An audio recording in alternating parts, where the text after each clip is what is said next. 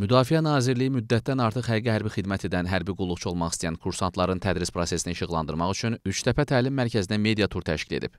Media nümayəndələri kursantlara tədris olunan dərslərdə iştirak ediblər.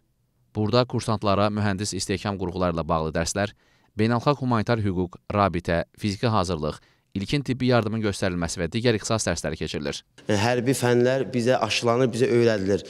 Bunun üçün də biz müəllimlərimizə və öz koman komandirlərimizə minnətdarlığımızı bildiririk.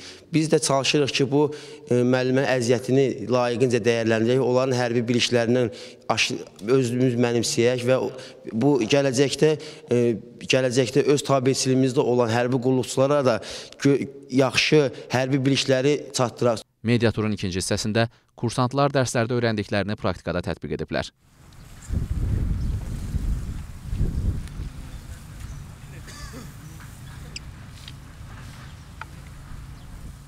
İstehkamçı kursantların minalar və partlamamış hərbi sursatlarla davranmaq vərdişlərini artırmaq istiqamətində təlim mərkəzinin həyətində xüsusi bir meydança ayrılıb. Hazırda biz mühəndis istehkam bölmələri üçün nəzərdə tutulmuş ərazidəyik. Kursantlar burada minaların axtarılması istiqamətində öz bilik və bacarıqlarını təkmilləşdirirlər.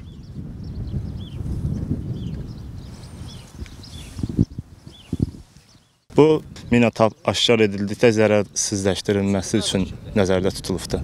Praktiki məşqlər keçirilir. Dərslərimiz tam qaydasında keçirin olmaq qaydada müəllimlərimiz öyrədir.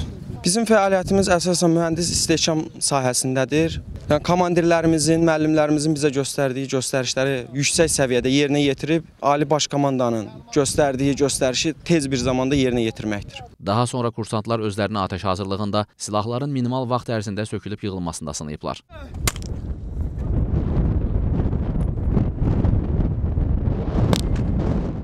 Üçtəpə təlim mərkəzində kursantların vaxtlarını səmərəli keçirmələri üçün hər cür şərait yaradılıb. 2 ay davam edəcək kursları müvəffəqiyyətlə bitirmiş hərbi qulluqçulara ixtisaslar üzrə sertifikat veriləcək və müvafiq işlə təmin olunacaqlar. Həmdağa Məcidov, Üzeyr Ağayev, İqrar Eyvazov, APA TV.